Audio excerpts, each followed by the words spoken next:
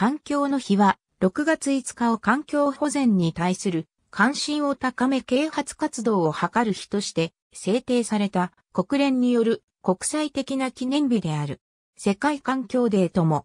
由来は1972年6月5日からスウェーデンのストックホルムで開催された国連人間環境会議を記念している。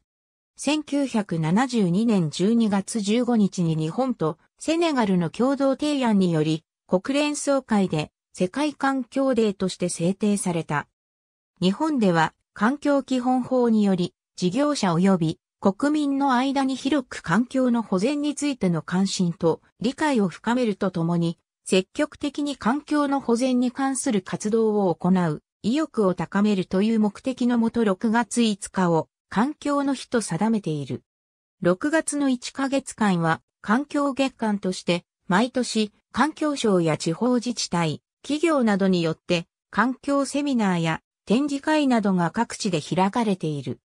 環境省では1992年から2003年まで環境の日、環境月間に合わせて普及啓発のため統一テーマを発表していた。国連環境計画では世界環境デー、環境月間に合わせて記念式典を開き、テーマを発表している。ありがとうございます。